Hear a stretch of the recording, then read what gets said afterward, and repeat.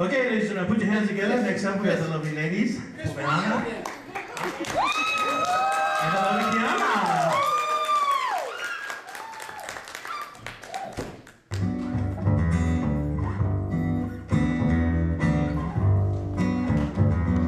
This is a lovely Tahitian hula.